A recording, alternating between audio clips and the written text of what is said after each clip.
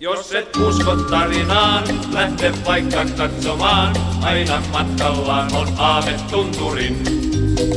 Kauan sitten on kaukaa takaa Uralin, vaille Petsamon orhi tuonut Vasilin.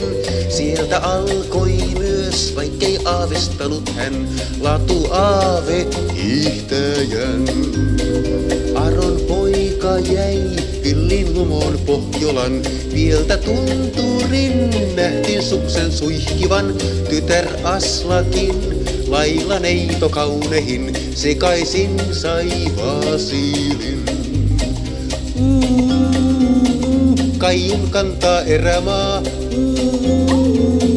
sutena hän rakastaa, lailla tahdo ei rakkautta kasakan, uudon kuullaan kaikuvan. Vielä saattaa tänäänkin kuulla korvat turistin, kuinka suksi Vasilin näin sujuttaa. Jos et usko tarinaan, lähde vaikka katsomaan. Aina matkallaan on aave tunturin.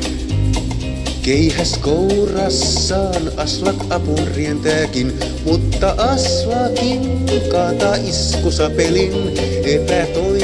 Epätoivoissaan neito veistä tavoittaa, käyrä miekka heilahtaa. Viime voimillaan ääreen noita rumpujen, Aslak laahautuu rummun kalvon iskien, vanhus harmaa päävillin taian virittää, kasakas vain haamu jää. Kaikuu yössä erämaan,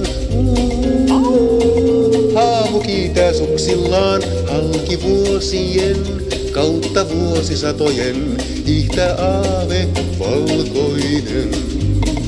Vielä saattaa tänäänkin kuulla korvat turistin, kuinka suksi Vasilin näin sujuttaa. Jos et usko tarinaan, lähde vaikka katsomaan. Aina matkallaan on aave tunturin.